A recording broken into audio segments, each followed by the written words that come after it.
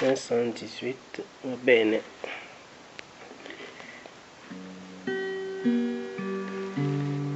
Ô toi qui donnes la vie,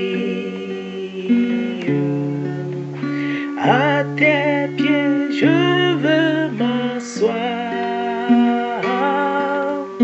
comme s'asseyait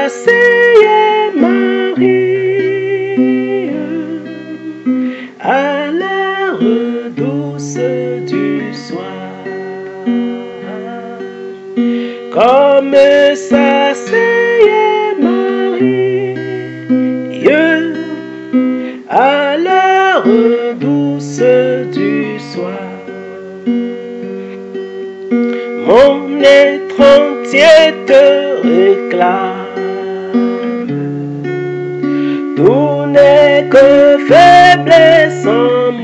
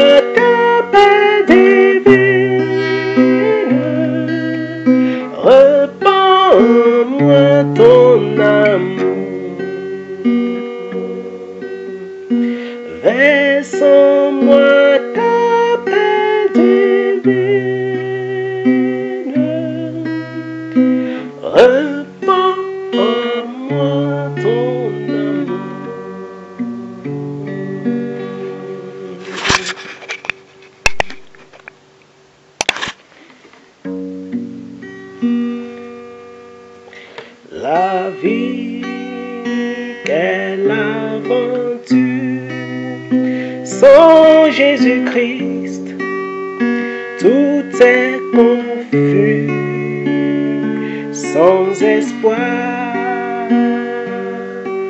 Seigneur, assiste-nous, fais-nous comprendre que sous ton aile, la vie a un sens. La vie est un mystère lorsqu'on la vit sans référence et loin de Dieu. Tout change, tout nous dégoûte. L'âme même nous prend vécu la vie quelle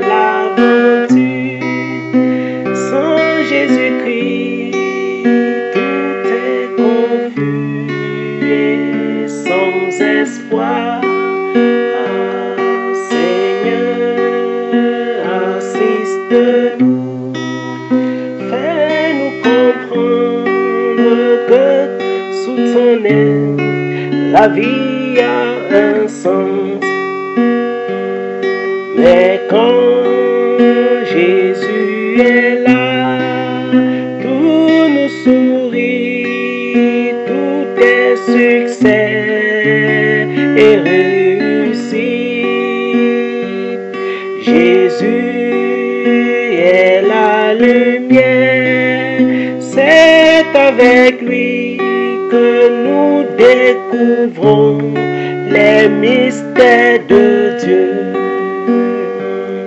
La vie, quelle aventure sans Jésus-Christ, tout est confus et sans espoir. Seigneur,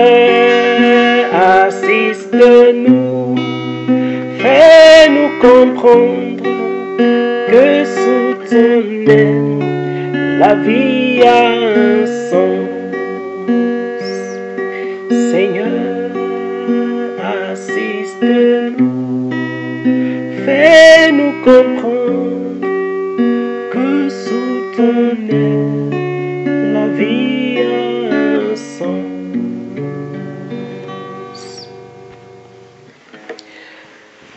Sous l'aile de Jésus-Christ, la vie a un sens.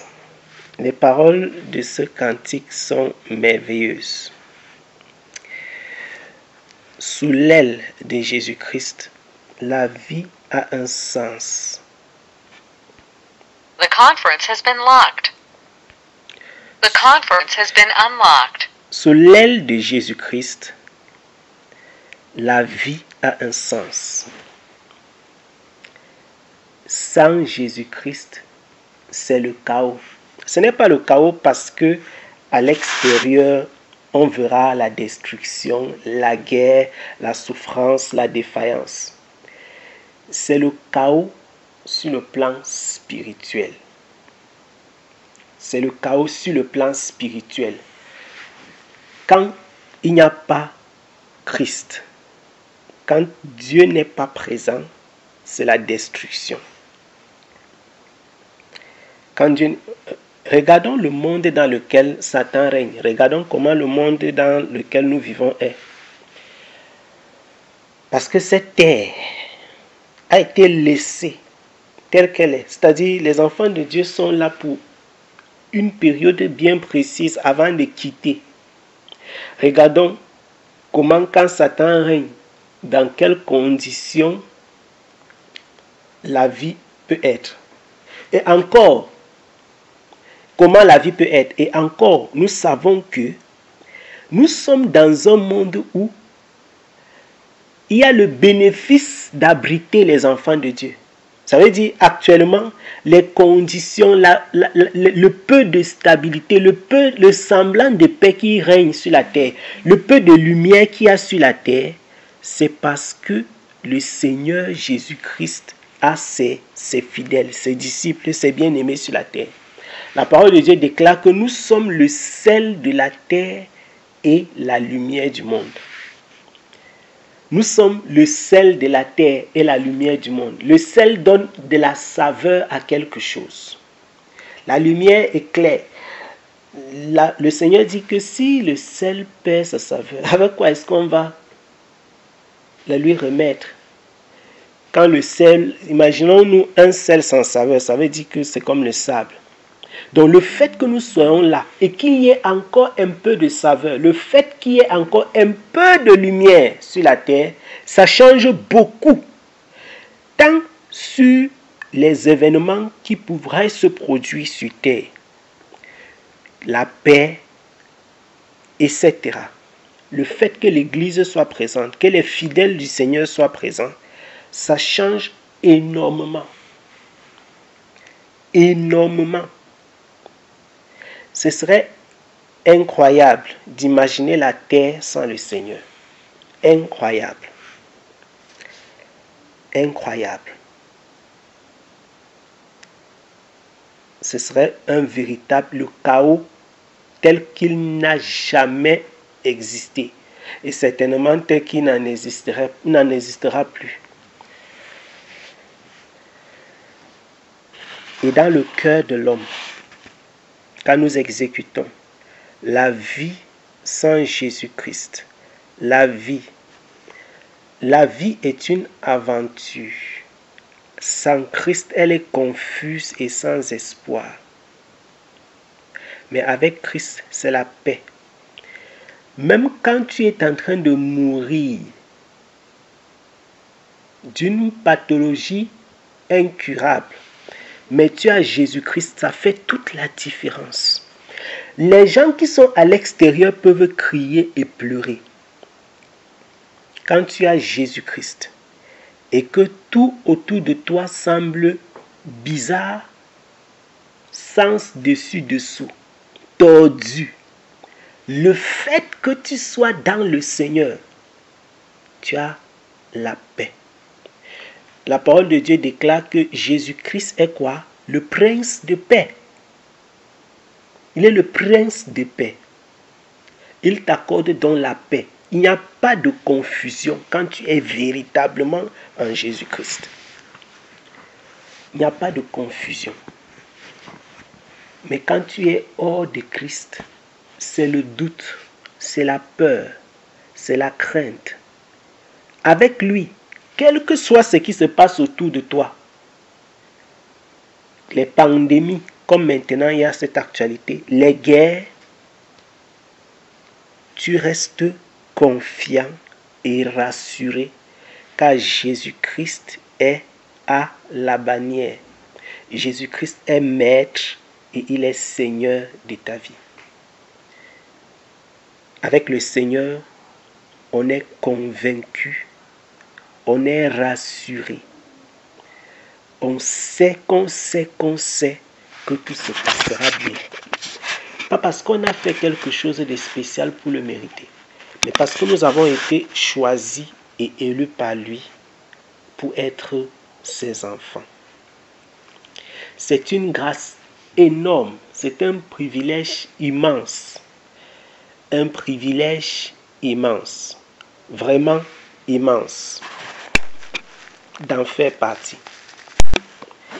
Nous, parlons, des, questions et des réponses du point de vue biblique parce que il y a que beaucoup de chrétiens connaissent bien les Écritures, connaissent bien la Bible sur le, je euh, sur le plan théorique.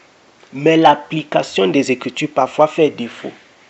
Donc, il est important d'aborder les Écritures dans la vie de chaque personne. Tu veux savoir d'un point de vue pratique comment il faut se comporter par rapport à tel aspect de la vie. Ça peut être euh, la relation avec le voisinage. J'ai juste cité un thème comme ça au hasard. Ça peut faire l'étude d'une discussion. C'est pas facile. Il y a des gens qui n'ont pas du tout la paix du cœur, qui ne dorment pas la nuit à cause de ça. Comment se comporter C'est un sujet banal, mais si on commence à en parler, il y a à dire. Ça peut être vraiment un sujet quelconque, vraiment quelconque, qui te vient à l'esprit et qu'il faudrait aborder. Il y a deux possibilités. Alors, plusieurs possibilités. Tu peux poser la question directement dans le groupe WhatsApp ou alors envoyer par mail. Poser la question directement dans le groupe WhatsApp ou alors envoyer par mail à sur le il y a un mail de Chris à moi par mail. Le mail est sur la description de, du groupe WhatsApp justement. Donc soit tu envoies dans le groupe WhatsApp ou alors tu mets directement euh, bien tu envoies par mail parce que le groupe il y a un mail qui où on recueille les questions qui ont déjà été envoyées voilà et qu'on peut prendre au fur et à mesure au fur et à mesure selon que le Seigneur dispose des choses jusqu'ici il y a Olive qui a envoyé des questions et je crois qu'on va prendre l'une d'elles on va prendre l'une de ces questions là où l'une de ces questions aujourd'hui. Euh, nous allons rapidement regarder dans. Avant qu'on ne prenne les questions, j'ai quelque chose que vous pouvez dire. Oui, euh, Merveille a quelque chose. Oui, Merveille a quelque chose à dire. Ouais, ouais. Ton enfant pleure. Oui, euh, C'est quoi?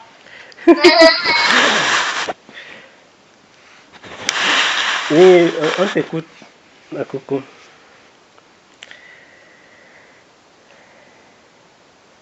Nous écoutons ou bien Merveille est partie. Désolée. Oh, oh, oh, si tu veux pleurer, tu vas aux toilettes, t'enfermer là-bas, pleurer.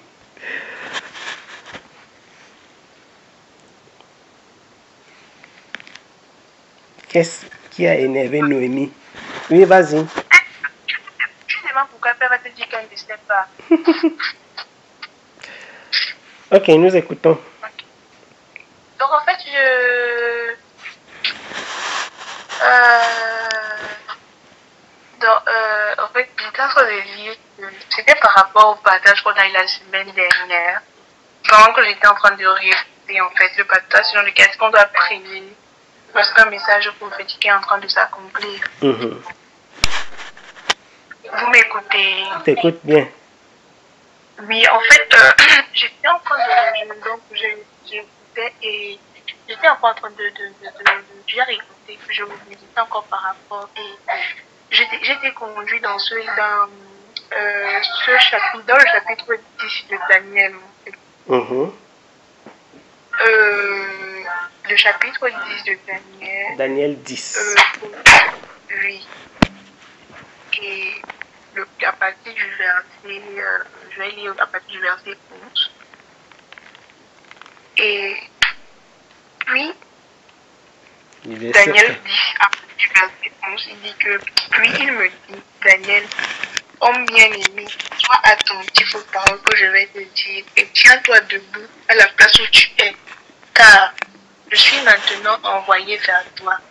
Lorsqu'il m'eut ainsi lorsqu'il ainsi parlé, je me tins debout en tremblant. Il me dit, Daniel, ne crains rien, car dès le premier jour où tu as eu à cœur de comprendre et de t'humilier devant ton Dieu, tes paroles ont été entendues, et c'est à cause de tes paroles que je viens.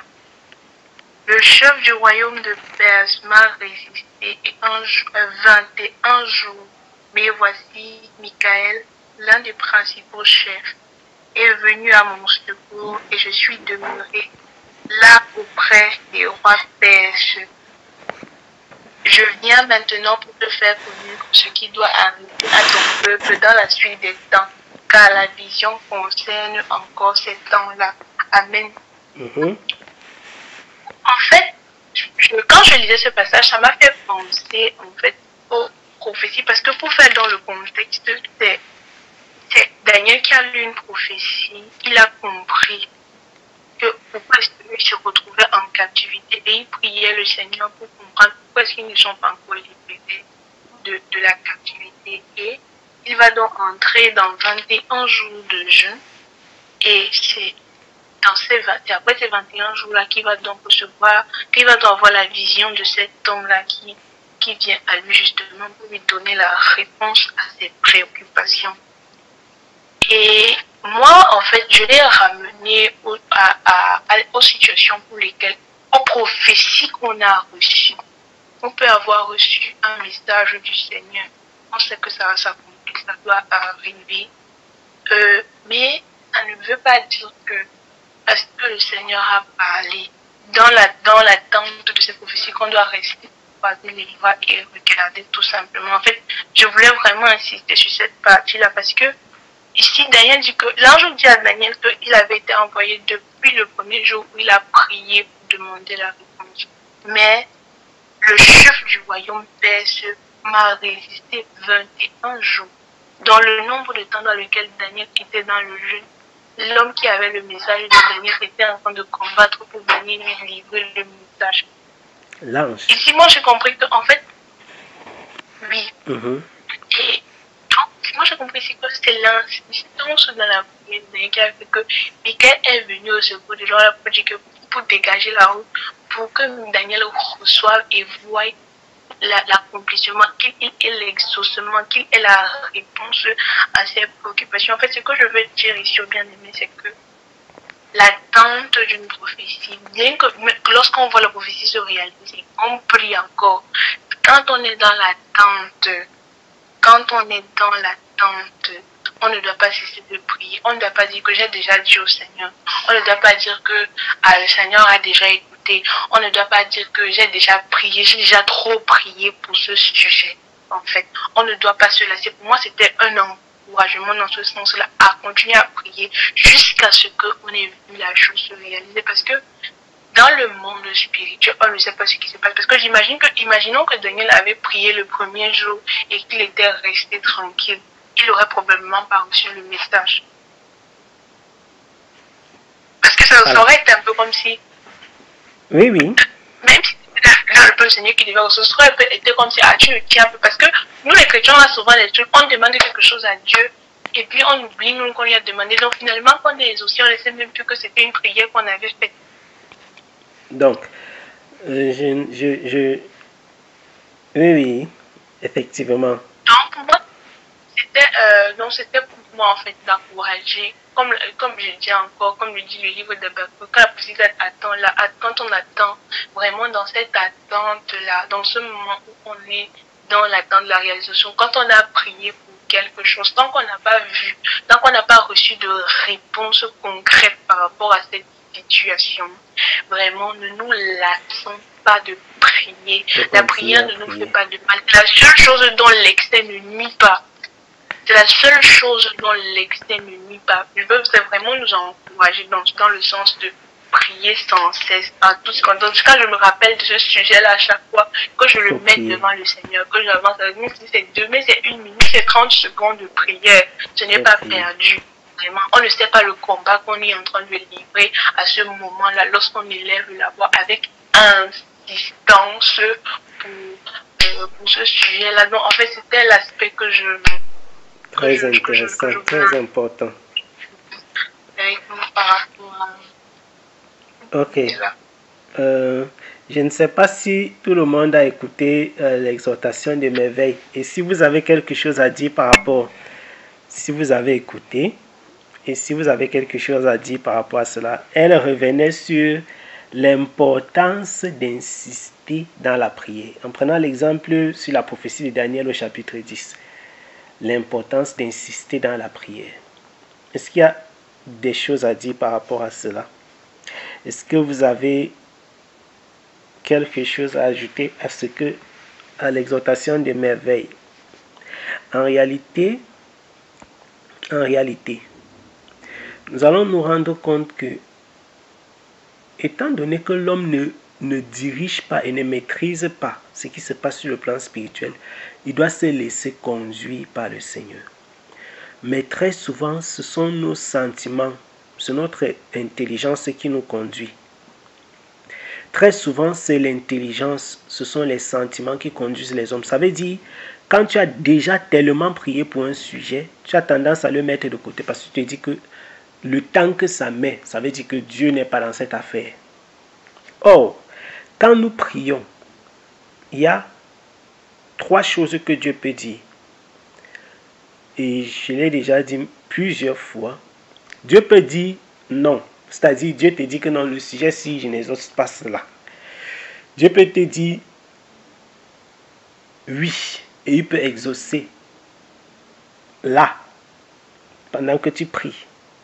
Ou alors dans les minutes qui suivent.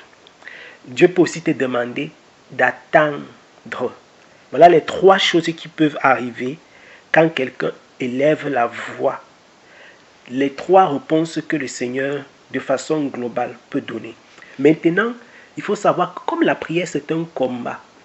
Parfois, le fait qu'on prie même pour certains sujets peut déclencher d'autres choses qui n'étaient pas en relation à ce sujet. Et c'est à ce niveau que ça devient très intéressant. Et nous rendons grâce à Dieu parce que Merveille a, parce que a, voulu donner cette, ce texte qu'il a marqué lorsqu'elle est revenue sur le, le, partage de la semaine passée. C'est vraiment important. Pourquoi? Vous allez vous rendre compte que lorsque, parfois lorsque vous priez pour certains sujets, vous avez les songes sur d'autres choses. Je suis convaincu, presque chacun d'entre vous a déjà eu des choses pareilles. C'est-à-dire, tu es en train de dire à Dieu, Seigneur, je prie que tu me, je prie que tu me parles Là, j'ai été coupé.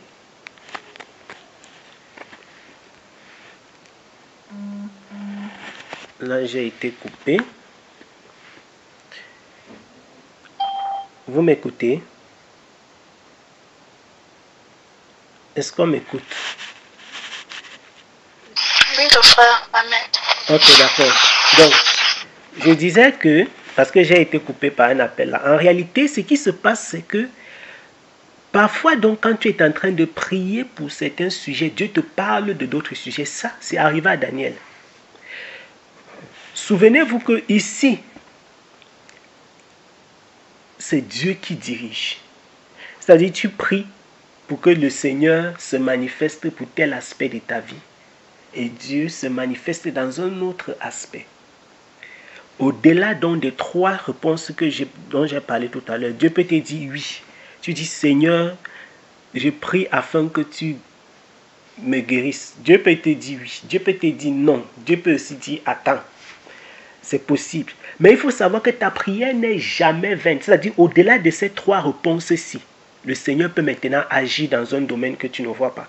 C'est comme ça, vous allez voir des personnes qui sont en train de prier, qui sont en train de prier, Seigneur, je te prie afin que tu guérisses telle personne. Et pam, Dieu te parle de ton mariage, il te parle du mariage, ou alors il te parle de quelqu'un qui va t'attaquer, ou alors il te parle d'une tentative de comment t'empoisonner ton cousin ou bien ton oncle. Tu dis, mais est-ce que c'est ça que j'ai demandé au Seigneur? Bien, tu es en train de prier, Seigneur, je veux savoir, est-ce que je dois voyager la semaine prochaine? Le Seigneur te parle d'autre chose. La prière est vraiment, c'est très important. Il ne faut, il n'y a pas, comme euh, Merveille disait encore, et j'acquiesce, je suis vraiment dans cette, dans cette lancée. Il n'y a pas d'excès de prière. Il n'y a pas d'excès de prière. Il faut toujours prier aussi longtemps que c'est possible. Élever la voix vers les sujets. C'est pourquoi il faut avoir un cahier même des sujets de prière si nécessaire. Chaque fois que ça te vient à l'esprit un sujet, tu pries. Parce que ce n'est pas nous non plus qui dirigeons même ces sujets de prière. Et si nous devenons des personnes qui prient et qui ont l'habitude de revenir sur les sujets de prière, au lieu de les oublier, de les envoyer aux oubliettes, on saura quand le Seigneur va nous exaucer. Mais si on fait du genre, je prie aujourd'hui, après demain, comme Dieu n'a pas exaucé, après un jour, je dis, ah, en tous les cas, Dieu n'a pas voulu m'exaucer. Bah, ce sera très compliqué. Ça fait qu'après un an, si le Seigneur te bénit, tu ne relis même pas cette bénédiction avec ton, ton sujet, le sujet que tu avais élevé depuis le départ. Dans ta tête, c'est que, ah, c'est donc arrivé au hasard. Parce qu'il y a des chrétiens qui croient au hasard. Tu pries aujourd'hui, par exemple, Seigneur, je veux, je prends par exemple le cas des, femmes qui, qui veulent avoir un enfant. Je veux un enfant et tout. Et puis, un mois, deux mois, six mois, un an, peut-être tu n'as pas d'enfant. Tu dis que, franchement, cette affaire commence à me décourager. Après cinq ans, tu as un enfant, tu te dis que non, que ça peut pas être, ça peut pas avoir un lien avec. Vous entendez donc des gens parfois dans les témoignages dire j'avais même déjà cessé de prier pour ça. Dieu, il est formidable, il est formidable. Dieu n'oublie pas. Mais nous, si nous continuons à prier, ce qui va se passer, c'est que nos sujets de prière, au-delà de travailler dans le sens du sujet que nous avons élevé à Dieu, ils travaillent dans un plan global. Donc plus nous prions, plus on se connecte et on s'attache au Seigneur et on peut davantage l'écouter au-delà même sur les autres aspects de notre vie. Donc ça c'est ce que je, voulais dire par rapport à la par rapport à l'exhortation que Merveille a, a faite tout à l'heure. Donc je disais aussi que il y avait les questions qu'on on, prenait habituellement des questions euh, des questions dans le